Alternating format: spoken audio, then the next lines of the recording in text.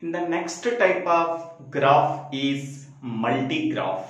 Okay, so before going to the definition of multigraph, first of all, we have to know about parallel edges and self loops. Okay, I am explaining with one example. So here, this is one graph. Okay, assume that this is one graph. In that graph, there are three vertices are there? V1 v2 v3 and five edges are there. E1 e2 e3 e4 e5 five. Edges are there. Okay. So now consider two vertices that is v1 and v2 v1 and v2 are connected by using two edges. That is e1 is one edge and E4 is another edge. Okay, now E1 and E4 are called as parallel edges. That means in a graph, two vertices are connected by using two edges. Then that two edges are called as parallel edges. Okay, so E1 and E4 are called as parallel edges because the vertices V1 and V2 are connected by using these two edges. Hence, we can say that E1 and E4 are called as parallel edges. In the same way, E3 and E5 are called as parallel edges because E3 and E5 edges are connected by using two vertices that is V2 and V3. Okay, so hence we can say that so E3 and E5 edges are called as parallel edges. Okay, now suppose we can take the vertex uh, of V1. So V1 is connected to V1 by using a, a loop. By using a loop, that loop is called as self loop. That means V1 is connected by using only uh, one edge. Okay, so for example, this is uh, E6 and this is uh, E7. Okay, V1 is connected to V1 by using the edge E6. So then it is called as self loop. A vertex which is connected to the same vertex by using a edge that is E6 is hence we can say that this is called as self loop okay v3 is connected to v3 by using the edge that is the e7 hence we can say that v3 contains a self loop and v1 contains a self loop okay is it clear? The parallel how can you say that the two edges are called as parallel edges how can you say that the vertex contain a self loop. A vertex which is connected to the same vertex by using a single edge, then the vertex contains a self loop.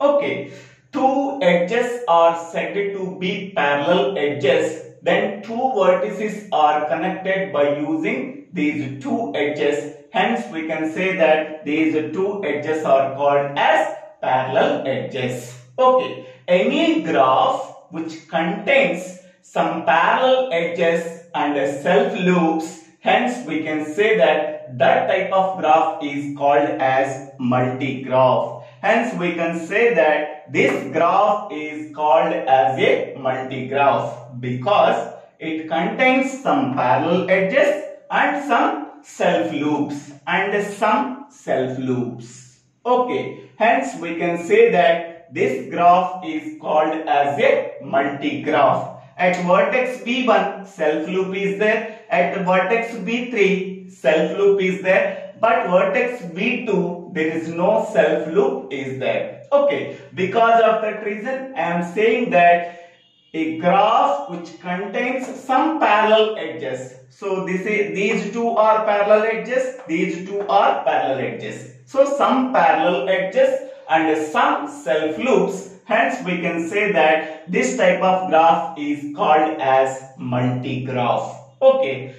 When we can say that this graph is a simple graph. Okay, so whenever a graph is said to be simple graph, it does not contain self loops and it does not contain parallel edges. Okay, now consider this graph. It contains three vertices V1, V2, V3 and contains three edges E1, E2, E3. Okay, there is no self loop at vertex V1. There is no self loop at vertex V2 there is no self loop at vertex V3. Okay, so there is no vertex which contains self loop. Okay, there are no parallel edges are there. Hence, we can say that this graph is a simple graph. Any graph which does not contain any parallel edges and any self loops, hence we can say that that type of graph is called as simple graph.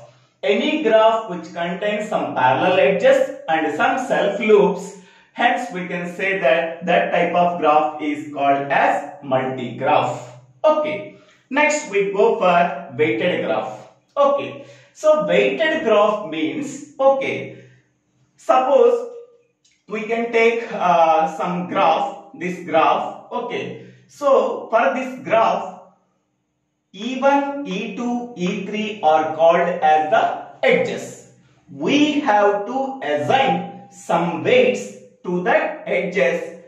Every edge has a particular positive weight. Then that graph is called as weighted graph. Okay. Now consider this graph example. So how many number of vertices are there? A, B, C, D, E, F. Okay. So six vertices are there. Okay. How many number of edges are there? Three, five, eight edges are there. Okay. Every edge has a particular weight or cost. Okay. This is called as edge weight or edge cost. Okay, a graph in which for each and every edge we have to assign some weight or cost then that graph is called as weighted graph. See the definition? A graph in which weights or costs are assigned to every edge of the graph then that type of graph is called as weighted graph. Here consider this graph. In this graph the weights are 2, 6, 4, 5, 7, 3, 4, 8. These are called as the weights or our cost. Okay, this edge cost A to B edge weight is 2. B to C edge weight is 6. C to D edge weight is 4. C to E edge weight is 7. E to D edge weight is 8. F to E edge weight is 4. A to F edge weight is 3. B to F edge weight is 5 or F to B edge weight is also 5. C to E edge weight is 7. In the same way E to C edge weight is also 7 because it is a undirected graph. Okay, A to B edge weight is 2. Same way B to A edge weight is also 2. Okay, in this beside weighted graph G 2, 3, 4, 4, 5, 6, 7, 8 are called weights or costs. Okay. Next, next definition, directed graph, undirected graph and mixed graph. A graph in which every edge is directed, then that type of graph is called as directed graph. A graph in which every edge is not directed, so then it is called as undirected graph.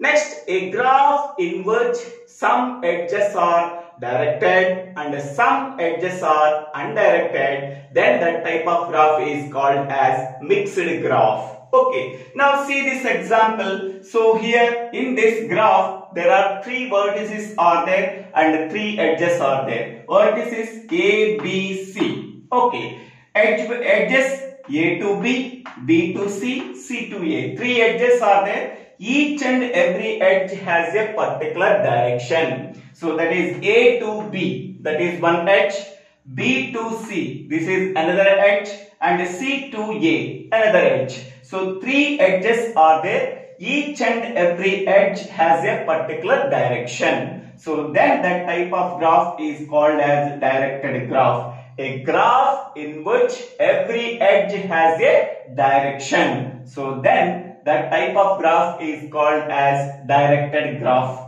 Okay. Next undirected graph. A graph in which every edge is not directed. So that type of graph is called as undirected graph. Here A to B that is one edge, B to C that is another edge, C to A another edge. In the same way B to A is another edge, A to C is another edge and C to B is another edge. So in the undirected graph A to B is equal to B to A. Okay. In the same way B to C is equal to C to B. In the same way C to A is equal to A to C. But in the case of directed graph A to B is not equal to B to A. B to C is not equal to C to B. C to A is not equal to A to C. Okay. In the undirected graph, so A tends to B is the same as B tends to C. B tends to A. Okay, but in the case of directed graph, A tends to B is not equal to B tends to A. Next, a graph in which some edges are directed and some edges are undirected, that type of graph is called as mixed graph. Here A to C edge is undirected. So A to C is equal to C to A. But A to B edge has a direction. So here A to B edge is there but B to A edge is not there. Okay. In the same way B to C edge is there but C to B edge is not there. Okay. Here these two edges has the directed edges A to B, B to C. But A to C edge is undirected. Okay, a graph in which some edges has the direction and some edges does not have the direction, that type of graph is called as mixed graph. A graph in which every edge is not directed, that type of graph is called as undirected graph. A graph in which each and every edge has a directed, so then that type of graph is called as directed graph. Okay, this is the description and example for multigraph, weighted graph, directed and undirected and mixed graph. Thank you.